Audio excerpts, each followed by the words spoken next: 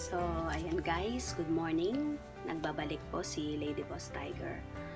So, guys, nalulungkot po ako sa mga nangyayari sa isang bridge sa uh, Taiwan na nag-collapse. So, meron po tayong tatlong kababayan na nasawi sa trahedyang ito.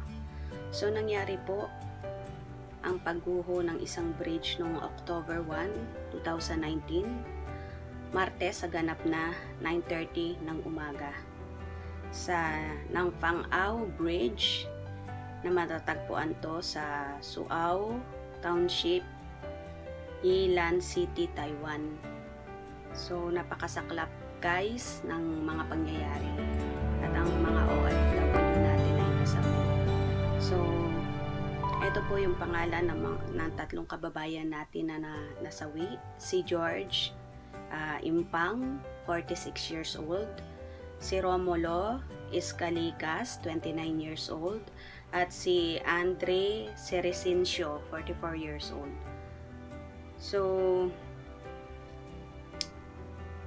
ako po'y taus-pusong nakikiramay sa pamilya ng ating mga kababayan. So, napakasakit po talaga na tayo ay nag-abroad para sa ating mga pamilya. Pero, later on, uuwing uh, malamig na bangka.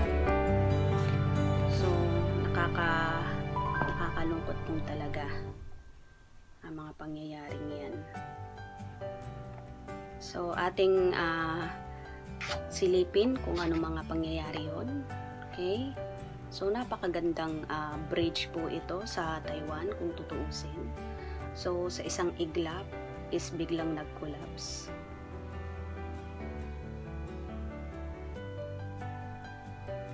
Napakahirap po talagang sabihin ng uh, mga kalamidad. Hindi man po natin to kagustuhan kaso lang talagang uh, si Lord ang nakakalam. Talagang siya lang. Kaya uh, masasabi ko, especially sa ating mga OFW, maging ready po tayo. Lagi tayong maghanda kasi hindi natin alam ang susunod na pangyayari bukas or sa mga susunod na araw.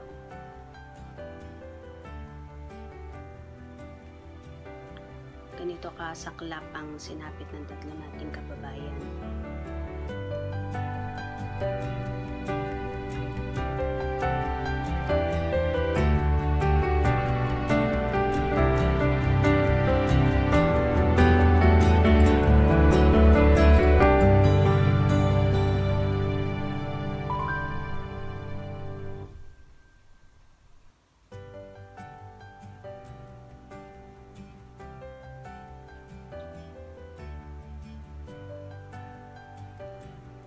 Sobrang sakit po talaga kasi biruin mo. Ang sakit lang isipin na umalis tayo sa bansang sinilangan buo ang pangarap na bigyan na maayos ng buhay ang ating mga pamilya.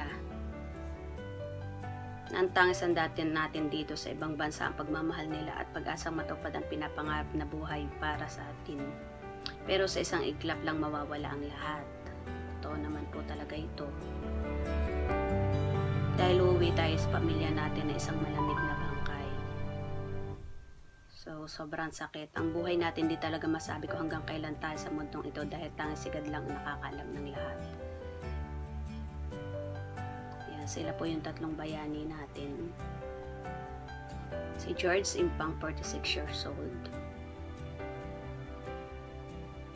Si Romulo Iscaligas, 20, 29 years old, napakabata pa po. At si Andre Celesencio, 44 years old. Sa lahat ng OFW sa buong mundo, saludo kami sa inyo, mga kabayan. Karoon po ng uh, vigil ang mga Taiwanese regarding po dito. Nakikiramay po kami sa mga naiwang pamilya nila kuya. Susad po talaga. Diyos puso po ang pakikiramay namin sa mga pamilya ng naiwan. Dasal namin na matanggap nyo ng buo ang mga pangyayari.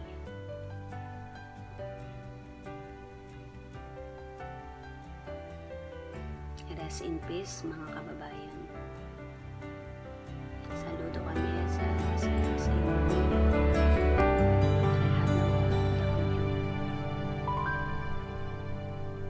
Kaya guys, uh, sa araw-araw, ah, uh, wag niyong kalimutan na uh, number one is magdasal, magpasalamat sa Panginoon kasi siya lang ang nakakaalam kung hanggang kailan tayo dito sa mundong ito.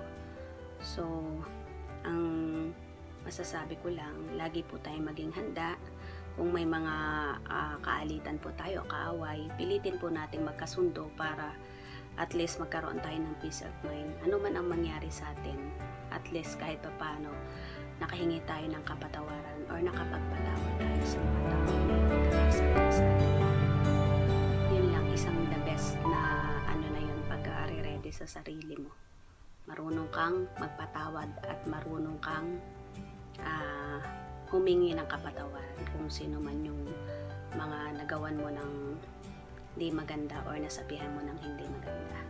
So, ayan guys, ah, muli nakikiramay ako sa buong pamilya ng tatlong kababayan natin na, na nasawi sa trahedya sa Taiwan.